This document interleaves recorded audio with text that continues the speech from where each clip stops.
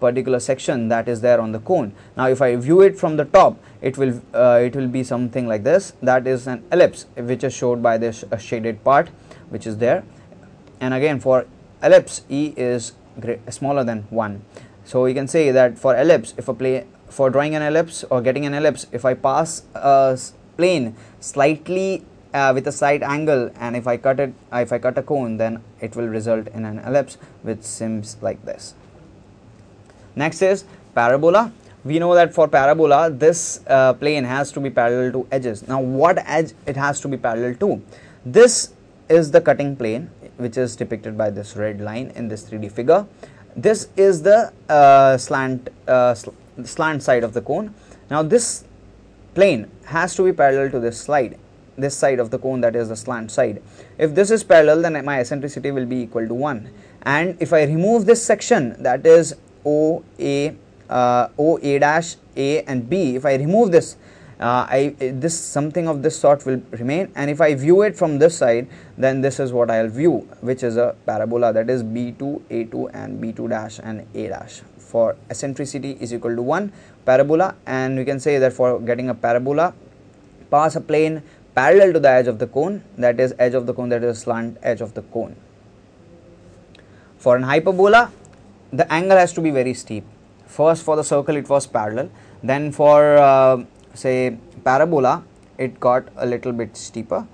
Uh, sorry not for the parabola for ellipse it for it was like this I got a circle. Then if I made it as uh, the plane slight uh, angle then I got an ellipse. If I made it parallel to the cone say this is the cone this is the axis of the cone if I am passing the plane exactly parallel to it then I'm getting a parabola. And then again if this is the axis of the cone and I'm making a very steep angle with it then I'll it will result in the, what is shown in the figure.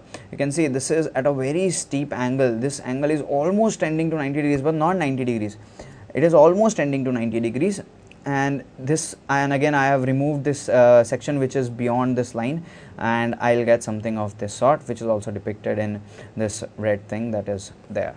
Here eccentricity is always greater than 1 that should be kept in mind. Now uh, let us discuss the first part that is the construction of ellipse. Let us see there are different methods for construction of ellipse. ellipse arc of circle method, concentric circle method, oblong method, directrix focus method. So we are discussing four methods today for construction of an ellipse. For step by step we'll be doing this. Okay, let's start with the first method that is arc of the circle.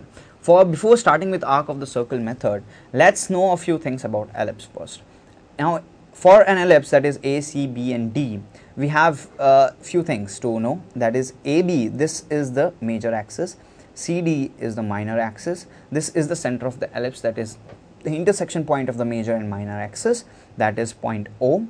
This F and uh, F1 and F2 are the focus of an ellipse. An ellipse has two focus. If you see that if there is a mirror which is uh, of this shape that is this is a concave mirror now if I have a concave mirror, if I have two concave mirrors, so I have two fo focuses and if I join both of them, I'll get an ellipse of this sort.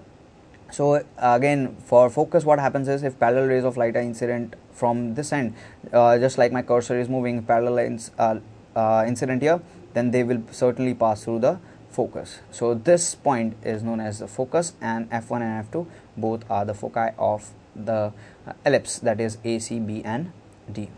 Moving ahead, we have this certain definition of uh, ellipse that this is the second definition of ellipse. The first two methods are based on the second definition of ellipse. Then we have uh, directrix method which is uh, based on the first definition of ellipse. So let's see. Let's observe the figure carefully and line by line let's interpret what uh, the definition says. So we have these different points on the ellipse that we have taken and we have drawn uh, lines from one focus and joined those points point and then taken that point and joined to the other focus.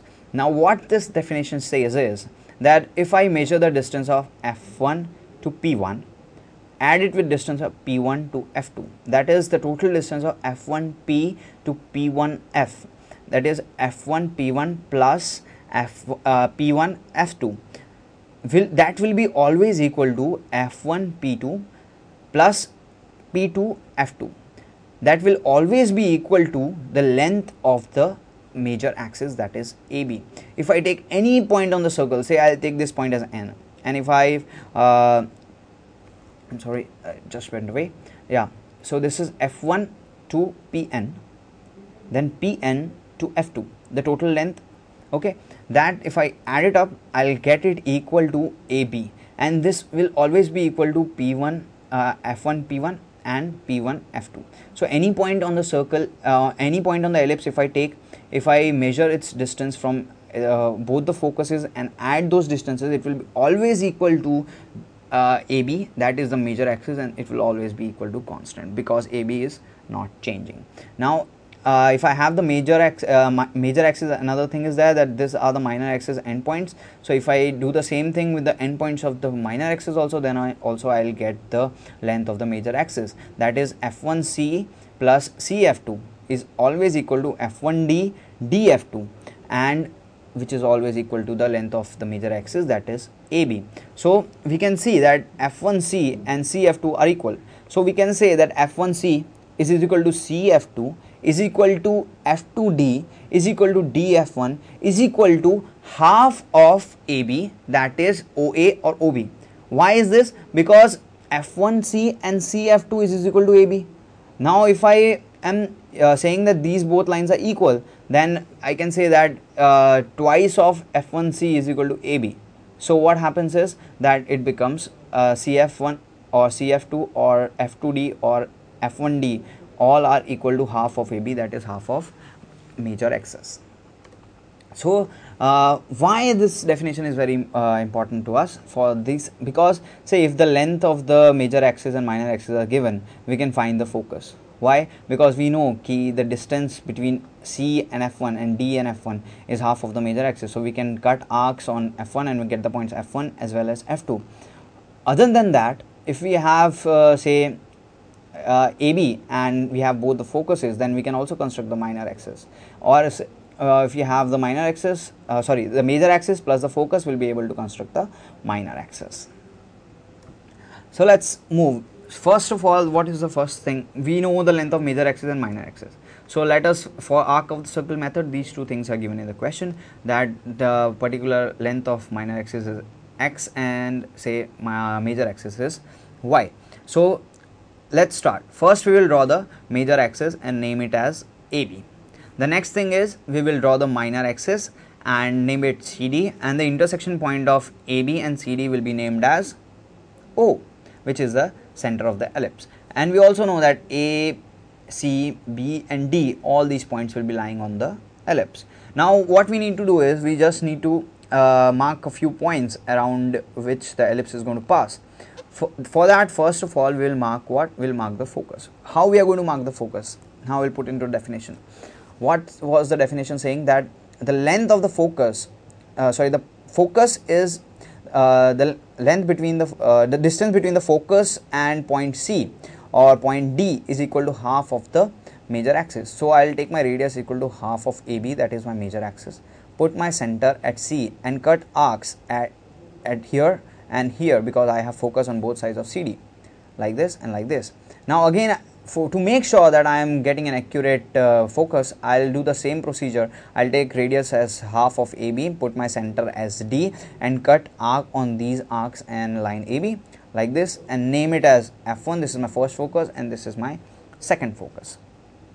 Now the next thing that I will do is, now I will divide F1 and O into uh, few parts that are equal parts. So from F1, I'll take uh, measurement that is I'll take radius of 3 to 5 mm and I will cut arcs on F1 and O say 1 2 3 4 till 1 2 3 4 that is 1 2 3 and 4 take equal distance from F1 and cut these arcs and mark these points. Now what are we going to do next? Now with length equal to a to 1 that is a to 1 I'm taking the radius I'm going to put my uh, point at my center point at f1 going to cut an arc above and going to cut an arc below. Then what i'm going to do is i'm going to measure the distance between 1 and b. And with f2 as center i'm going to cut arcs on the arcs which i've come from fv see something like these i've taken radius as uh, a to 1 and then uh, put my center as f and cut this arc and i've cut this arc.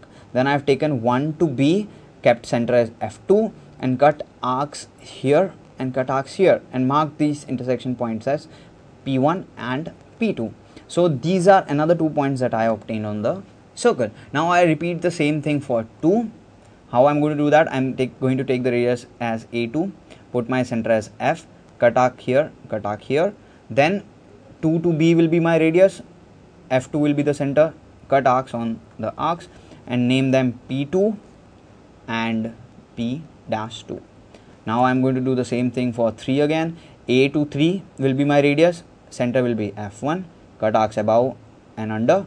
Then 3 to B will be my radius and F2 will be my center. Cut arcs above and under on the same arc. Like this. So I will get my P3 and P dash 3 then I'll do the same thing for 4 again. So I have this P4 and P dash 4 now what I'll go do I'll repeat the same methods that I have done on the left hand side of D and uh, I'll repeat it on uh, right hand side of uh, CD that is the minor axis and uh, I'll do something of this sort and repeat the same procedure. So get P5 P dash 5 P6 P dash 6 P7 P dash 7 and uh, P8 and P dash 8 now I have a lot of points on my ellipse so now what I'm going to do is in clockwise or anti-clockwise I'm going to in order starting from C I'm going to start from C then I'm going to go to P8 P7 P6 P5 then B then I'll go to P5 uh, P dash 5 P dash 6 P dash 7 P dash 8 then I'll go to D then I'll go to P dash 4 P dash 3 P dash 2 P dash 1 then A then 1 2 3 4 and then come back to C. When I have connected all these points in this particular order then I'll get my ellipse C. This is the ellipse that I have got in purple. This is the required ellipse by arc of the circle method. I hope you understood.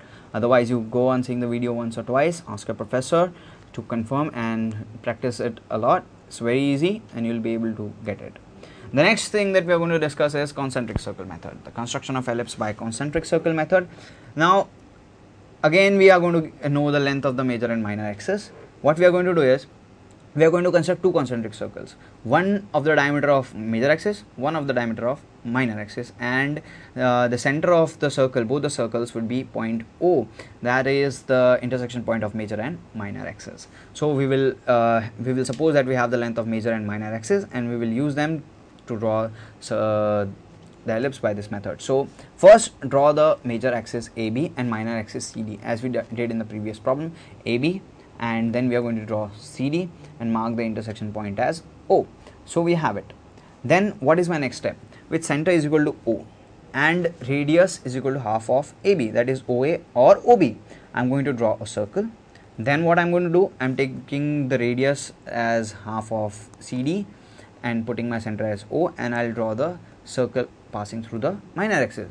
What I'm taking first circle passing through both the points of the major axis and then the minor axis. So i have of uh, the circle let's see. First i'm doing it for the major axis. This is the circle that i've drawn. Then this is the, the uh, minor axis circle. Radius was equal to oa or ob for the major axis. And then with center o i drew this circle. With for minor axis oc or ob will be my radius. And i have drawn this circle with o as center. Now we are going to divide the circle into 12 pi. I told you in locus also that 12 parts division of a circle should be right on your fingertips. When I say 12 parts or when your professor says or when the question says something that is related to division of 12 parts, you, you should be able to do it in minutes. So this is what you're going to do. You are going to divide the circle into, oh, I'm sorry, uh, we'll have to take it up once again. Uh, I beg your pardon for this the I just hit escape instead of uh, hitting the next button so I'll have to go to the slide once again and then start it. Okay.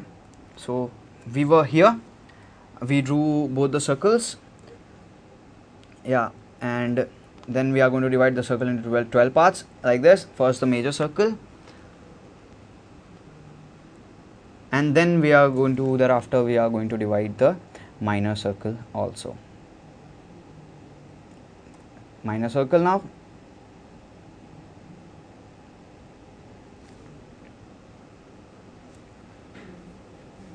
okay? Now we proceed to the next thing. That is I'll just join the line so that I know that I have the pies with me okay? Now what I'm going to do is first I'm going to take the points of the outer circle and I'm going to draw vertical lines through them. Vertical lines eh, which will be exactly perpendicular to the major axis. Now from the points which are above the major axis I'll draw lines which are vertically downwards and from the line which are uh, from the points which are below the major axis I'm going to draw uh, lines vertically upwards. Something of this sort. 2 3 4 5 and 6 are above AB so I'm going to draw vertically downwards line. Like this. Now uh, this 8 9 10 11 and 12 are below AB so I'm going to draw vertically upwards line. Okay. Now we are going to take what now we are going to take the center circle that is a, a smaller circle of the minor axis. Now what we are going to do see the points which are there on the left hand side of the minor axis that is CD for that we are going to draw horizontal lines from right to left. And which are there on RHS will draw from left to right. See don't get confused. This is 2 and 3 and this is 11 and 11 and 12 these are on the left hand side of the circle. So we have to draw lines from right to left right to left right to left and right to left. And for these which are uh, there on the right hand side of the circle we will draw left to right left to right left to right left to right. See? And each line will intersect these vertical points and we will mark these vertical points very neatly. The end thing is that these points are the points which are there on the ellipse. And now we see that C, D, A and B are also there on the ellipse. So we need not uh, draw anything extra for that. Now what I'm going to do I'm again going to uh, start from C and then join these red lines. I'm this this in this fan uh, in this cl clockwise manner and I'm going to get my ellipse. The required ellipse is here by concentric circle method. Two more methods we are going to discuss. Don't worry I'm not going to take any break